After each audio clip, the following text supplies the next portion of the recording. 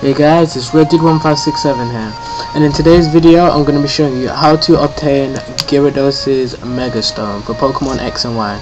So first you're going to head to for Couriway Town, uh, which is here on the map.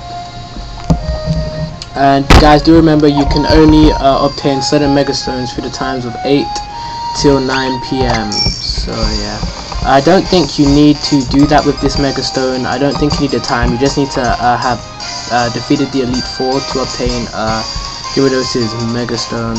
But yeah. So it's just through here if I can get past this guy. And there you can see the sparkling light. And there it is.